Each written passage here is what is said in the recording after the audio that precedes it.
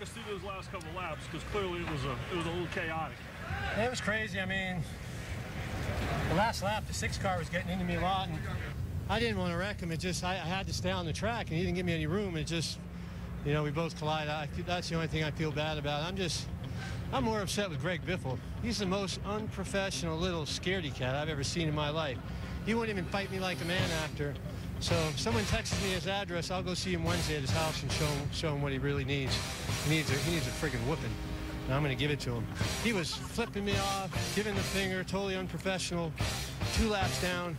I mean, he's a chump. When we saw what happened, and walk us through exactly what happened in the garage. We kind of walked in the middle. I went over there to go talk to him. He wouldn't even let me get out of the car, and he comes over and throws a few little baby punches, and then when I get out, he runs away and hides behind some big guys. But he, he won't hide from me long. I'll, I'll find him. We we gonna find you. I'm letting you know now. I won't settle it out in the track. It's not right to wreck cars, but we'll show up at a race with a black eye one of these days. I'll see him somewhere. That was. I got run over by a bug-eyed dummy again.